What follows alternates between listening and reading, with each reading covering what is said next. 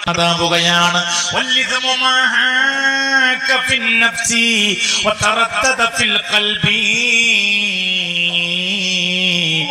ദോഷങ്ങൾ ചെയ്യുമ്പോ കൽപ്പിൽ അസ്വസ്ഥത കയറി വരികയാണ്. ഹൃദയത്തിൽ ഒരുതരം ചൊറിച്ചിൽ വന്ന് സംഭവിക്കുകയാണ്. അതുകൊണ്ട് ഇതുവരെ ചെയ്തിട്ട് നമ്മുടെ കൽബിന് വന്ന് ചേർന്ന ആ കാഠിന്യം അല്ലെ?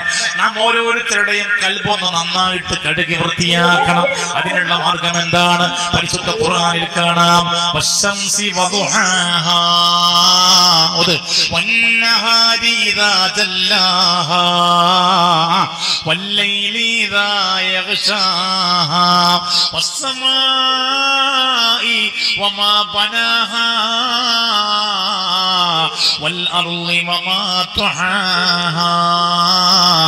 ونفس وما سواها فألهمها فجورها وتقواها قد أفلح من زكاها ഈ ആയത്തിന്റെ തഫ്സീറിൽ കാണാൻ കഴിയും അത് അഫ്ലഹ മൻ സക്കാഹ.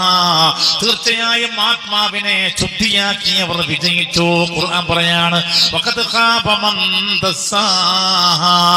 ആത്മാവിനെ മലിനപ്പെടുത്തിയവർ പരാജയപ്പെടുത്തി പ- പരാജയപ്പെട്ടു ആത്മാവിനെ ശുദ്ധിയാക്കിയവർ വിജയിച്ചു. എങ്ങനെയാ ആത്മാവിനെ ശുദ്ധിയാക്കേണ്ടത്?